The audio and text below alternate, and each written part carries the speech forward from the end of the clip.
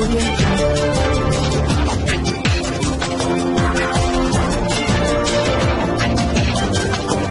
भारत, केवल खबरें, और कुछ नहीं। नमस्कार, मैं हूँ अंजलि। आरपी भारत में आपका स्वागत करती हूँ। तो चलिए शुरुआत करते हैं आज की किसी खास खबर से। जमशेदपुर के उड़ीसा बॉर्डर पर तैनात पुलिस के जवान ने ही युवती से किया बलात्कार।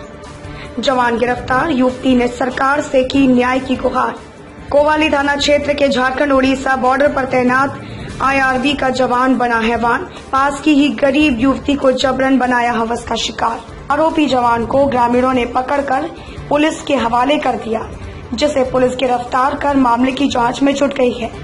इधर पीड़िता के द्वारा पुलिस जवान के खिलाफ जमशेदपुर के कोवाली थाने में दुष्कर्म किए जाने का मामला दर्ज कराया गया है। पुलिस जवान के द्वारा दुष्कर्म की इस घिनौनी घटना के बाद जिला पुलिस प्रशासन ने चेक पोस्ट पर तैनात सभी जवानों को ड्यूटी से हटा दिया। घटना के संबंध में बताया जाता है कि जब तूफानी चक्रवात में जोरदार बारिश हो रही थी, उस समय युवती अपने घर की रसोई में खाना बना रही थी। उसी समय जवान वहाँ अचानक पहुँचा और लड़की को उठाकर बकरी के शेड की ओर जबरन ले जाकर उसके साथ बलात्कार की घटना को अंजाम दिया।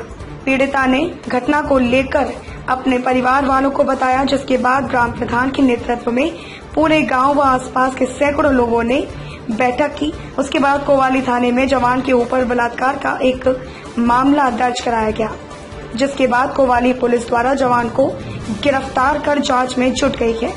वहीं आक्रोशित ग्रामीणों ने चेक पोस्ट पर तैनात सभी जवानों को हटाने की मांग की।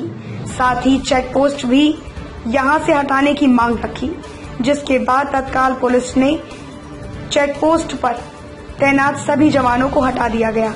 जैसे ग्रामीणों का कहना है कि क्वालिटी गाँव की एक जो हमारी लड़की है, आदिवासी लड़की है, उनके साथ यहाँ जो पुलिस पिकेट जो यहाँ बनाया गया था चेक पोस्ट उसका एक जवान उसके साथ दुष्कर्म किया है, बलात्कार किया है, और ग्रामीण इसी आक्रोश के साथ आज उस जवान को पकड़ते हुए प्रशासन को सौंप दिए हैं और ग्रामीणों का मांग है कि उस प्रशासन उस जवान पर कड़ी कार्रवाई की जाए और लड़की को न्याय दिया जाए। और हम लोग यही चाहते हैं कि प्रशासन ऐसे जो गलत कर रहे हैं ऐसे जवान पर कड़ी कार्रवाई करे और यहाँ से तत्काल ग्रामीणों का मांग है कि यहाँ जो पुलिस पिकेट बना है उसको यहाँ से तत्काल हटाया जाए। था लेकिन हाँ, मेरा नाम मप्रा सरदार मैं ग्राम ग्राम प्रधान हूँ। लेकिन इन पुलिस लोग ने हमारा गाँव के एक लड़की को लोग बलात्कार किया।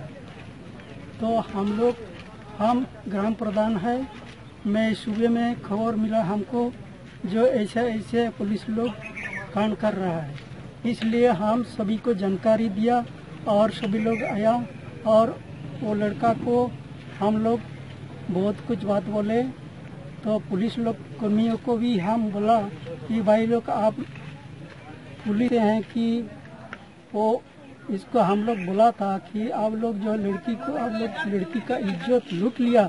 तो लेकिन हम लोग को, आप लोग